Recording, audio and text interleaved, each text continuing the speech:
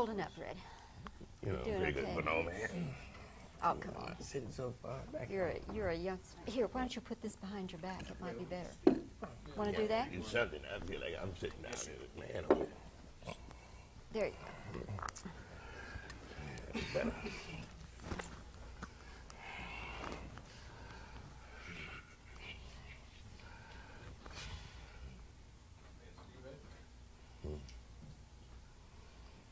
Well, Redd Foxx, we did this uh, a few years ago when you were doing Sanford, and here we are, take two with Sanford. Yeah. Good, to, Good. good to see you. Thank you. I have to ask you first of all, does Liberace know you're wearing all his jewelry? No, this is Sammy stuff. You get it Monday, Wednesday, and Friday, and he gets it other days. Yeah, something like that. Redd, you're doing Sanford. Was this something, an idea that originated with NBC and they came to you, or how? I really don't know how it came about. You know, it's, I guess, you know, they needed something tried and true. You know, so Sanford's been that. So I'm I'm still here, so I can do Sanford as long as they want it. Were you eager to do it, or did you say, well, I don't know, I've been that route? Well, I'm very eager to do it because uh, it's my business. You know, when the money's right, you do. You get very eager. Oh, now we're getting down to the facts. The Well, money, the money. is- It always has been that through life, hasn't it? I guess so. Okay, I'm- and now I'm interviewing you. I'm sorry. Why not? Why not? but it is going to be somewhat different, isn't it? Oh yes, it'll be without a lot of the other people that were in the show, you know. But we'll have new people, and we'll try to make it as good or better. And what are the new people? How, how will they relate to you, the new people? Almost in the same sense that the rest of them did, you know, just be new faces, you know. But the same type of uh, thing, but only I have a wife, so I'll have to change. Maybe the wife will have a daughter, you know, so instead of a son, I'll have to contend with the things that happens when a man is the father of some daughters or a daughter, you know, which I don't have too much experience either way, not having any kids, you know. But it'll be fun. It'll be fun. I believe it'll be fun. Are you still working in Vegas? Yes. A lot? Uh, six nights a week. I'm there now. Now I'm off on Monday. That's why I'm here. But uh, I'll be there. Has your act changed much through the years? In Las Vegas? Uh, Yes, it's changed. I've got bluer. well, that brings up a point, Redd, because you pioneered the kind of humor that you do, didn't you? I think so. I think so. I don't think I pioneered. I just think I was the first to just get on out there and refuse to work unless they let me do what I thought was honest, you know. So uh, people started seeing that I can draw crowds. Even now, uh, at the landmark, no one for eight years has been able to turn anyone around the corner to go to the landmark until I got there. And they've had Broadway shows and everything. People just wouldn't turn the corner for that. But I have a nice uh, crowd every night over there. How many times in your career, going back eh, to when you started doing that, how many times did you get fired? Oh, I never got fired. I always Really? quit. Even if I was fired, I quit. No, but I know how club managers are. You know, they've all got a different idea about anybody's act. I don't care who it is. You know, if you sing low, they want you to sing high. Yeah, You when know. I, I went to Las Vegas, I was in the Aladdin Hotel before they had built, built a new one here.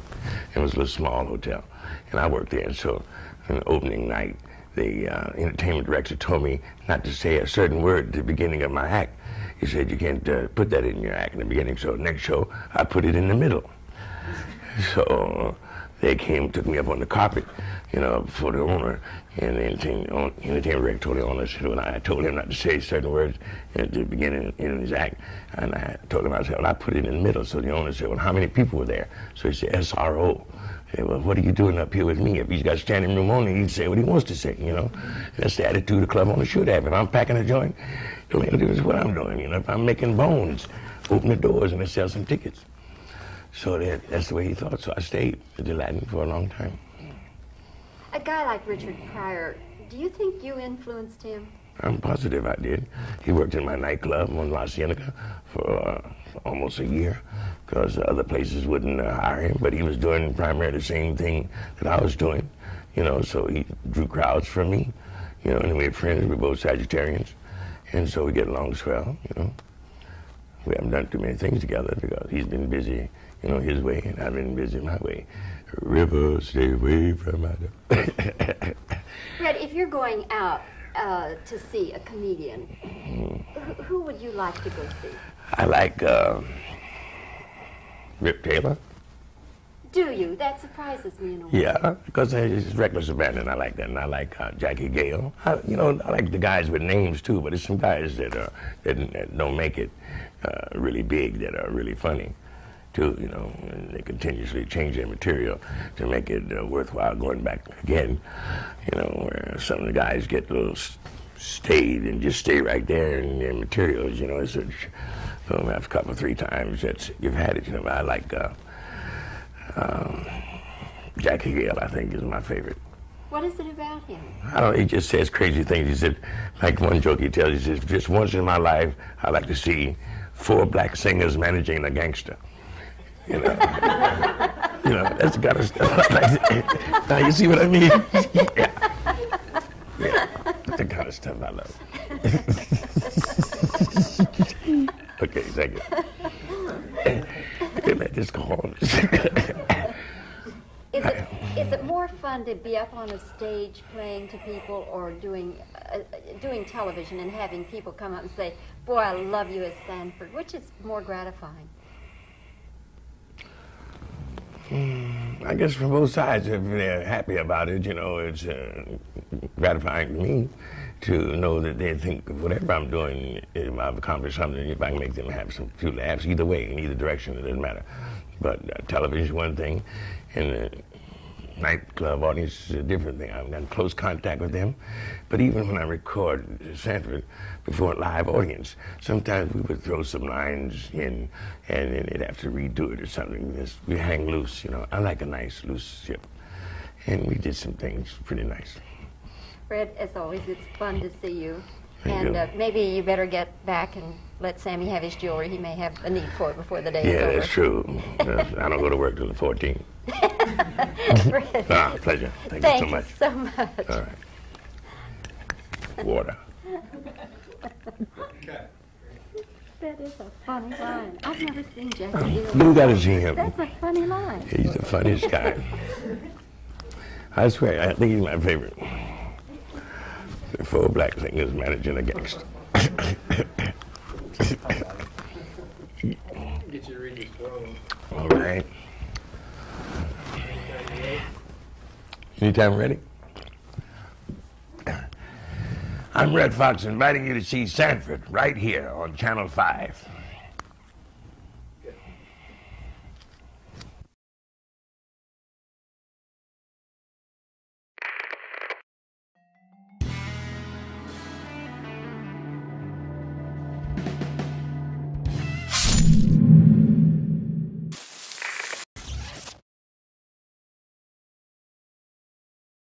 Holding up, Redd? You know, Doing pretty good okay. for an old man. Oh, come on. Sitting so far back. You're a, you're a young. Here, why don't you put this behind your back? It might be better. Want to do that? It's something. I feel like I'm sitting down there. Man, oh, There you go. it's better.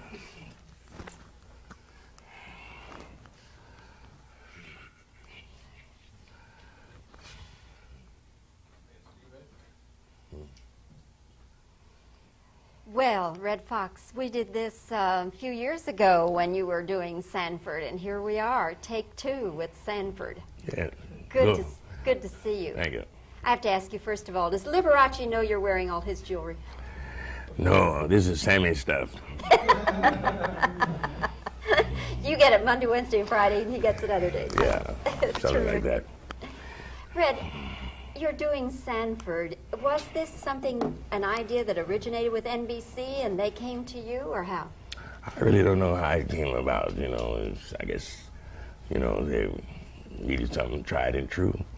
You know, so Sanford's been that. So I'm I'm still here. On entertainment director on the show, and I told him not to say certain words at the beginning in his act, and I told him I said, well, I put it in the middle. So the owner said, well, how many people were there? So he said, SRO. Well, what are you doing up here with me? If he's got standing room only, he'd say what he wants to say, you know.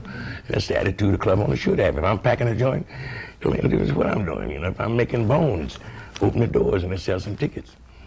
So that, that's the way he thought. So I stayed at the Aladdin for a long time. A guy like Richard Pryor, do you think you influenced him? I'm positive I did. He worked in my nightclub on La Cienega for uh, almost a year because other places wouldn't uh, hire him, but he was doing primarily the same thing that I was doing, you know, so he drew crowds from me, you know, and we had friends, we were both Sagittarians, and so we get along swell, you know. We haven't done too many things together because he's been busy, you know, his way, and I've been busy my way. River, stay away from my... Redd, if you're going out uh, to see a comedian, who, who would you like to go see?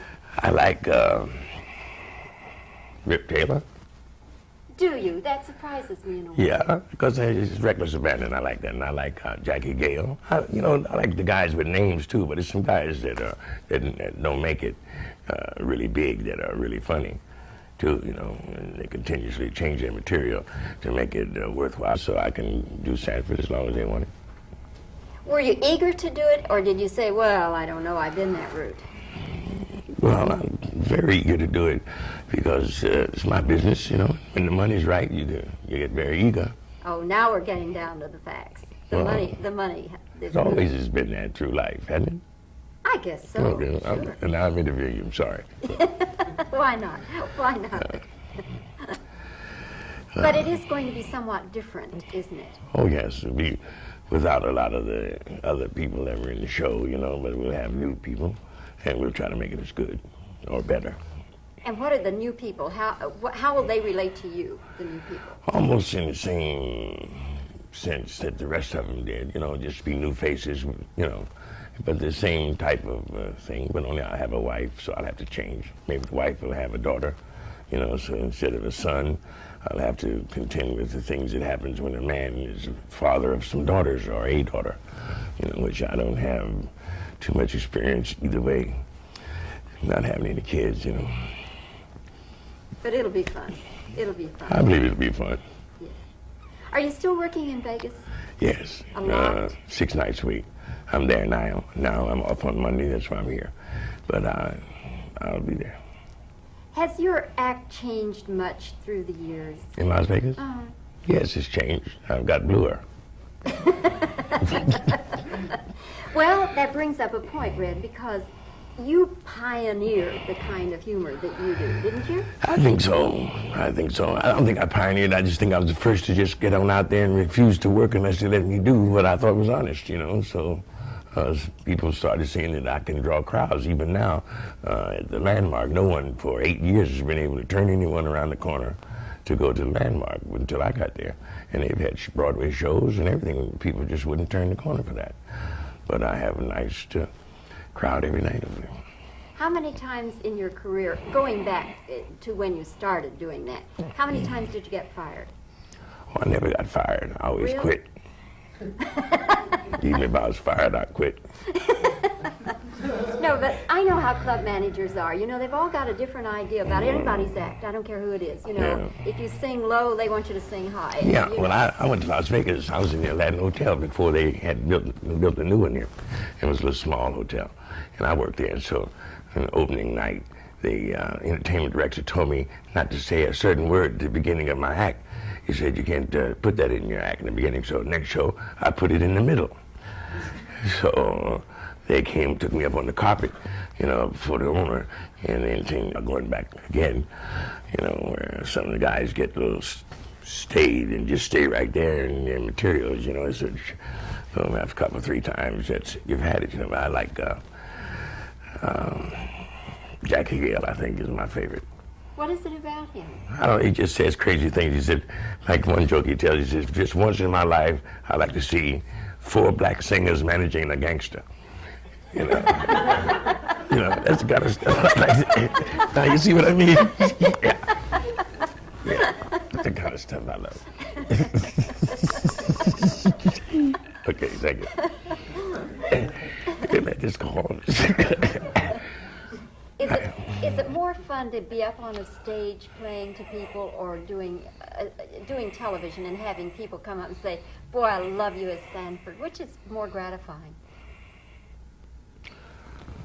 I guess from both sides, if they're happy about it, you know, it's uh, gratifying to me. to know that they think whatever I'm doing, if I've accomplished something, if I can make them have some few laughs, either way, in either direction, it doesn't matter. But uh, television is one thing, and the nightclub audience is a different thing. I've got close contact with them. But even when I record Sanford before a live audience, sometimes we would throw some lines in, and then they'd have to redo it or something.